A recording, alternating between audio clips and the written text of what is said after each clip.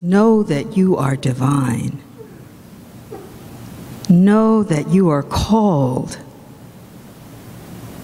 to come home and to be at home and to bring those who would want to be with us home.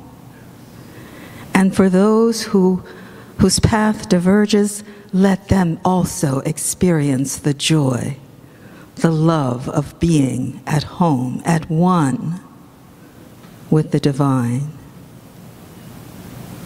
Never ever think of yourselves as small or irrelevant. You are the very quintessential expression of God in the universe, planted here to be the co creators the Creator intended to manifest in the world the divine spark and to birth the joy and the love that we are all so very much in need of.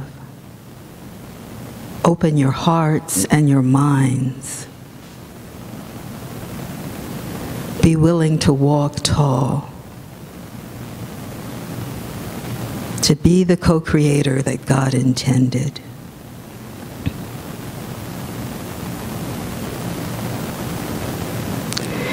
We are so, so joyful for this opportunity to come together and to express our love as a community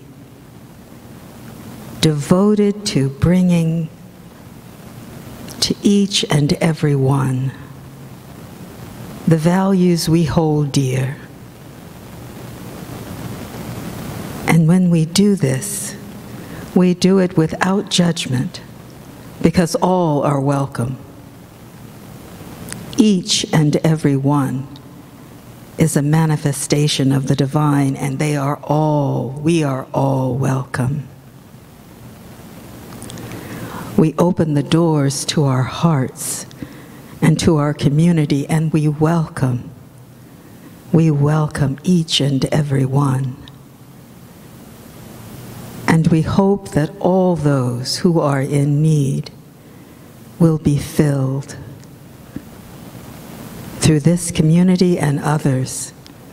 There is no limit to the availability of love and light and sustenance to sustain us all.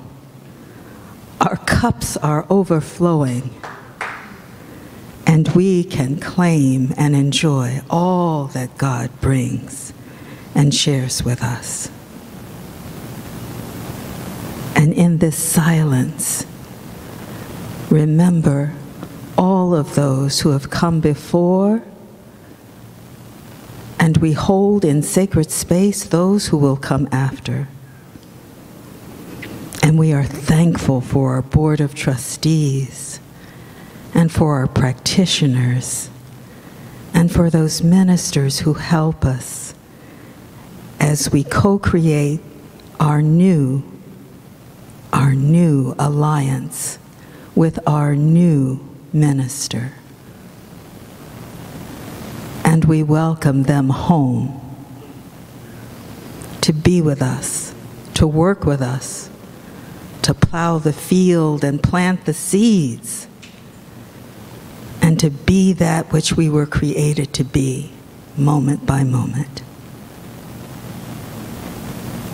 In deep love and thankfulness. We know that it is already done. And we are grateful, so very grateful for one another and for the blessing of this day. And so we say, and so it is.